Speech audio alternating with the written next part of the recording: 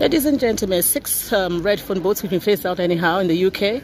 Um, somewhere in the promenade, um, on the pavements, under the trees in Cheltenham, Gloucestershire, United Kingdom.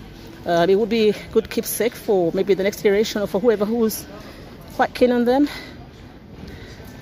So it's two rows of three.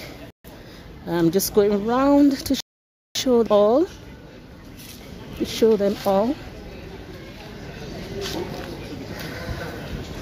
Yeah it's worth doing a video of them so two rows of three six red phone booths. Um, they've been phased out now in the UK and that's it it's on the 360 on them the 360